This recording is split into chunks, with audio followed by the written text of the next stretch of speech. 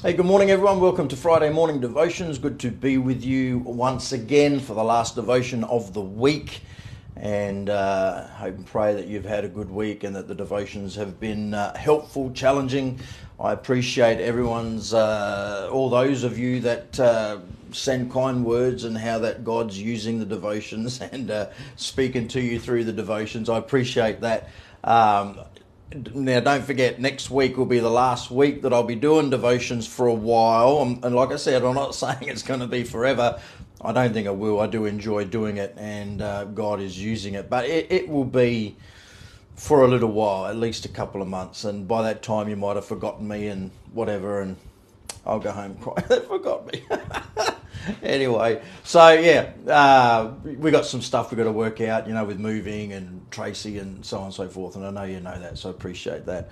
Uh, remember, being Friday, can I encourage you to be in prayer for your service or services on Sunday? Carol, Tracy, good morning. Be praying for, uh, be listen, listen, be praying for a move of the Holy Ghost. Pray for a move of the Holy Ghost. Uh, it's on my heart a little bit at the moment, so. Um, pray for that. Yes, I know you'll pray for other things as well, but we really need the Spirit of God moving in our midst. Lindsay, good morning. I am uh, I am excited for our services or service or services. Yeah, Bible class at Open Door, and then our main service. For those who are going to come to the Bible class, I have quite a few notes for you, quite a few things for you to put in your book this week that will be helpful as we look at Revelation chapter 6, dealing with the, uh, the first six seals. So, uh, looking forward to that. I'm, I'm, sure the, the information that you get will be helpful. And then the message on Sunday morning, oh, I'm looking forward to preaching that, and uh, I believe it'll be a help and a challenge for all of us. All right, let's go to uh, John 16. I want to talk to you this morning on this thought. Where is the Holy Spirit in all this?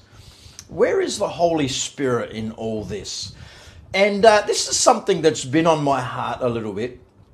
Uh, you know, I, I uh, as, a, as a, being in the pastorate, uh, you know, I, I don't um, I don't fellowship with too many pastors. Not not all to do of my choosing.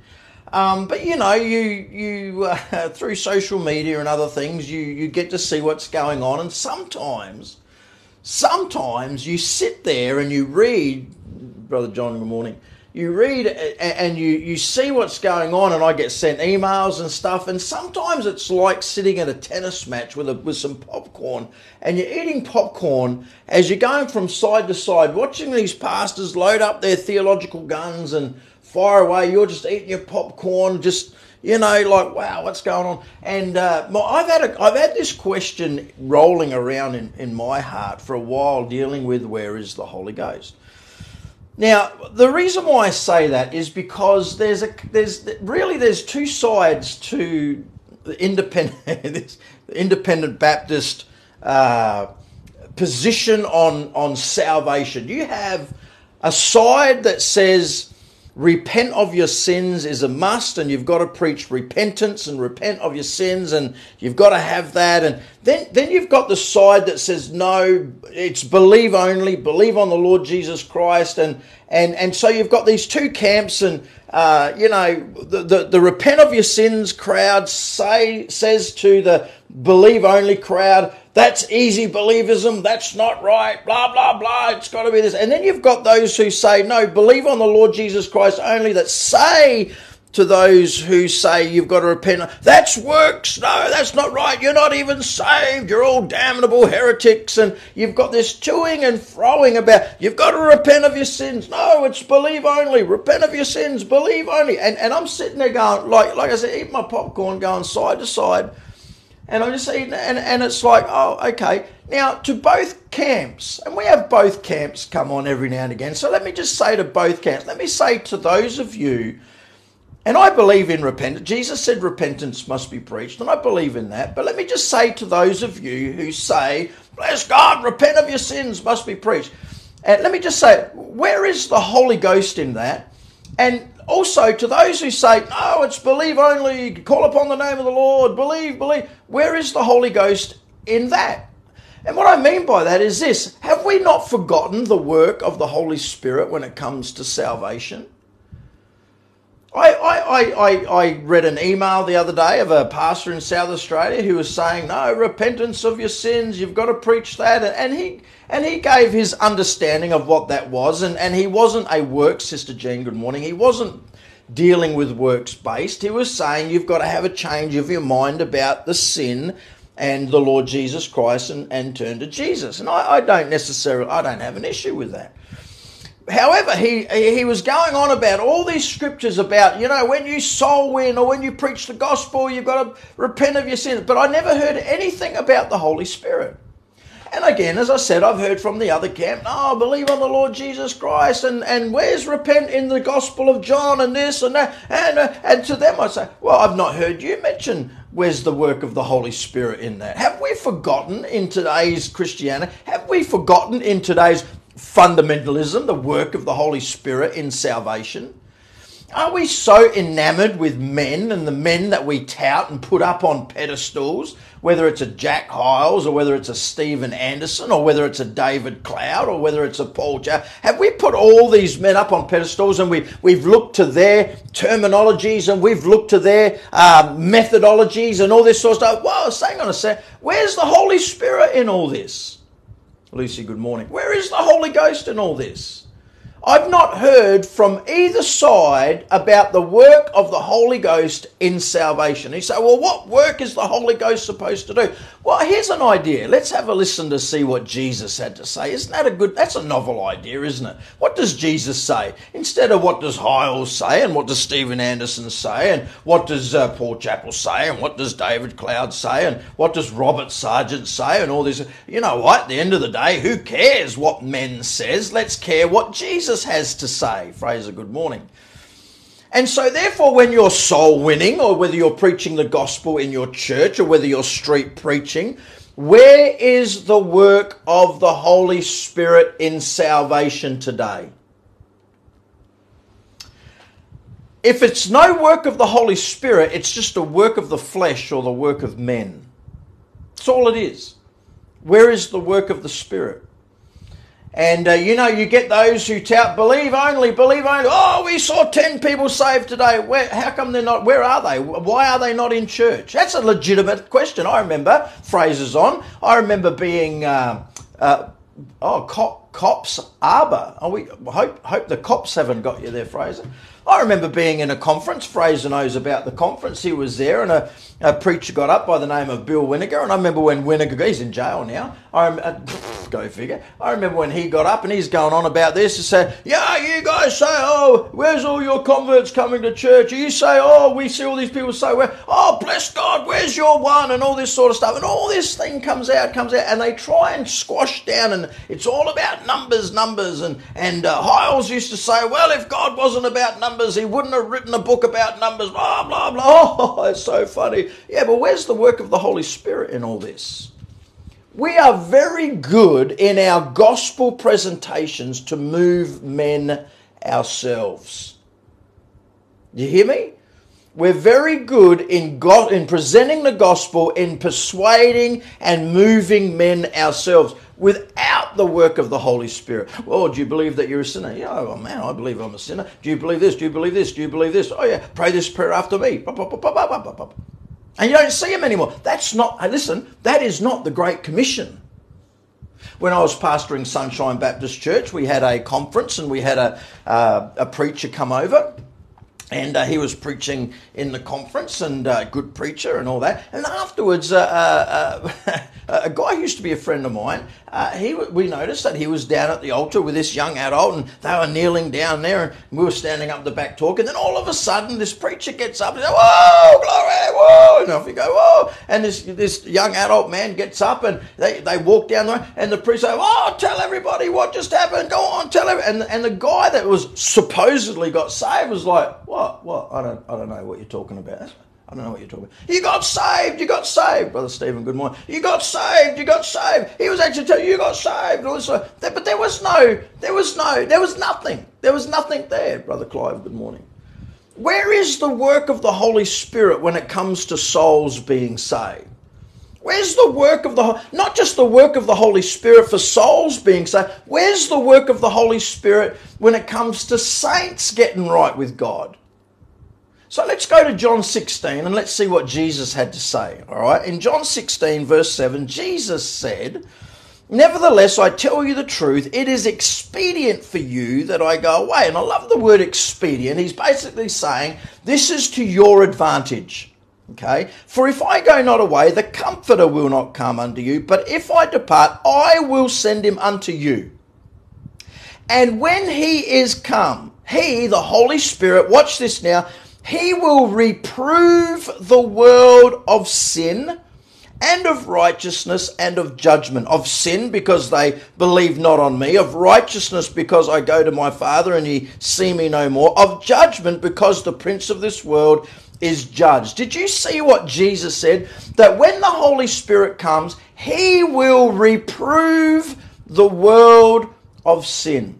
That word reprove all right. The Greek word for the word reprove, and yes, it's important we do word studies, all right, to get the meaning of the word. The word reprove means to expose, to convict, or to cross examine, as in like in a courtroom. So we're not taking the human instrumentation out of it. You and I are to be used of God to present the gospel. But at the same time, the Holy Spirit should be at work, reproving the sinner, exposing to that individual the sinfulness of sin, uh, convicting the heart of the sinner, cross examining. The Spirit should be at work in the, in, the, in the life of this sinner. And the same token, the Holy Spirit ought to be at work reproving the life of the saint when he has sinned or she has sinned as well. If there is no convicting work of the Holy Spirit, there's no brokenness over sin. I have not, I'm, and by the way, I'm not saying that everyone's going to show the same emotion, whatever, right? I'm not saying that, but where is the brokenness when it comes to people getting saved, to sinners, uh, to saints getting right with God? I am not seeing any of that. I don't know about you, maybe you are. We go out, we do door knocking. We got, we've got men that go out and do street preaching. We've got those of us, like on Thursday, the weather wasn't that good, so we went back to the shopping centre. We're handing out tracts and all of that. And, uh, you know, we, we, get to talk to people. And we're, but there, where, where is, where is the, the brokenness? Is that not a legitimate question to be asking today? The danger is, is that we are saying that people are saved and they're not. Christianity is about change. When you're saved, your spirit change. There's that immediate change within. You become a new creature in Christ. But Paul tells us in 2 Corinthians chapter 3, I believe it is, verse 18, that we are changed by the Spirit of God. Our life is one of changing. Where I am today in my Christianity, I'm not where I was, praise the Lord, when I was 10 years old. There is no change happening. And once you, once you start saying, where's the evidence? Well, the believe crowd say, well, that's work, you show the, blah, they get on you. And then the, the repent of your sins crowd, they get on you and all this sort of stuff. Well, hang on a second. Hang on a second.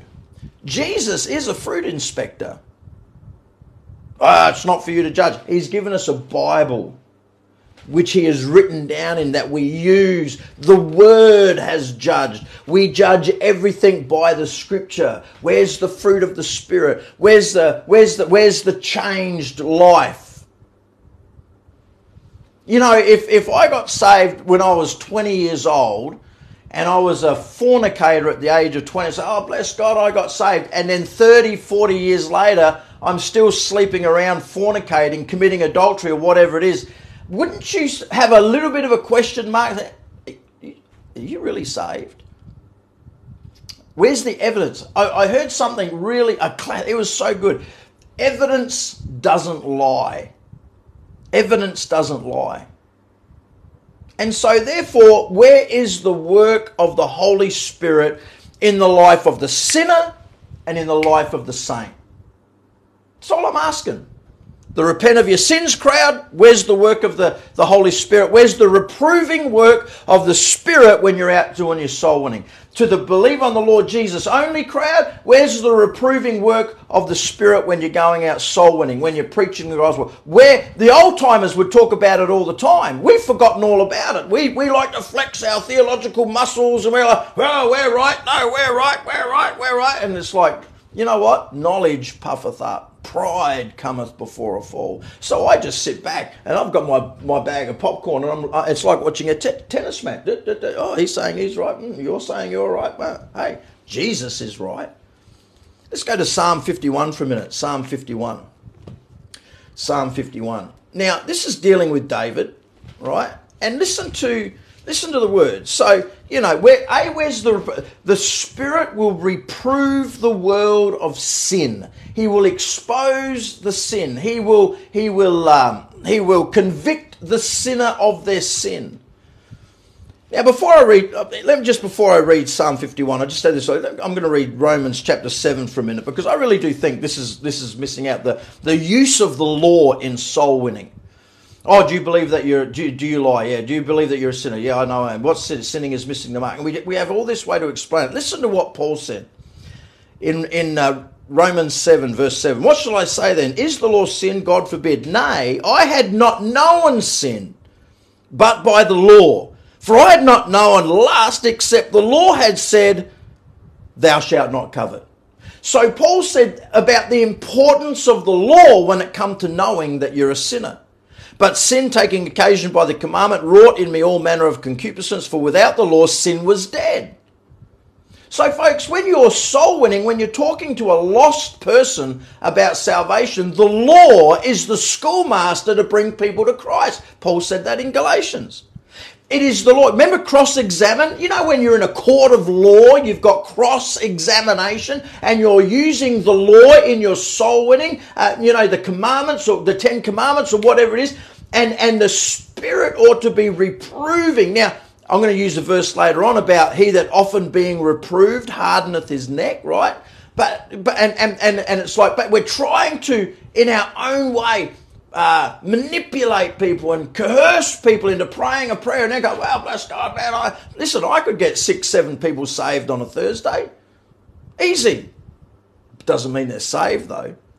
Verse 9 For I was alive without the law once, but when the commandment came, sin revived and I died. All right, let's go to Psalm 51.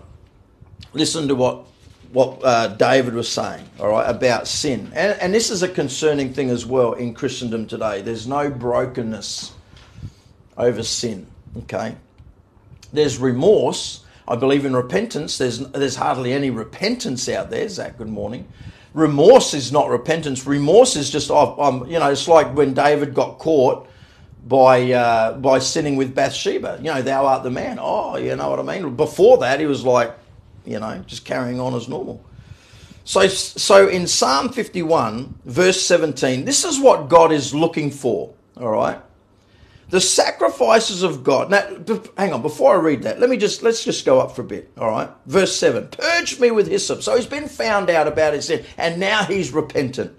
Purge me with hyssop, and I shall be clean. Wash me, and I shall be whiter than snow. Make me to hear joy and gladness, uh, that the bones which thou hast broken may rejoice. Hide thy Hide thy face from my sins, blot out all mine iniquities, create in me a clean heart, O God, renew in me uh, renew a right spirit within me. Cast me not away from thy presence. Take not thy Holy Spirit from me. Restore unto me the joy of my salvation. Uphold me with thy free spirit. You can really sense as you read that David's repentance towards his sin and God. Okay? Verse 17 The sacrifices of God are a broken spirit, a broken and contrite heart. O God, thou wilt not despise a broken and contrite heart. Where is the brokenness? Where's the contrite heart? Where's the reproving work of the Spirit when it comes to salvation, soul winning, street preaching, preaching the gospel in church? Where is that? There's no tears today. Everything's dried up in church. There's no crying. There's no brokenness. There's none of that. all there is in the majority of independent Baptist churches is hardness. Hardness. Let's God, we're fighting fundamentalism. We're right and they're wrong, and the Caros are wrong, and the Pennies are wrong, and the Calvinists are wrong, and they're wrong, and we're right. That's all we got. Let's go to Proverbs 28. Proverbs 28, all right? Proverbs 28. And by the way, it, you know what?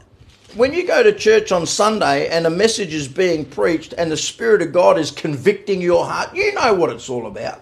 You know what it's all about. I know what it's all about. Okay, I've had times where it's like, you know, I, uh, I, I've said something and it's like, oh, wow, you know, the Spirit of God's just smote me.